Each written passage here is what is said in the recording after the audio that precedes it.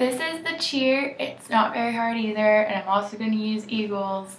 So, um, it's not very long. But it goes, ready, eagle fans in the stands. Let us see you raise your hands. Yell, let's go Eagles. Let's go Eagles. Let's go Eagles. And then we spirit. And when that jump, they can make it a toe touch or a herky or whatever they want.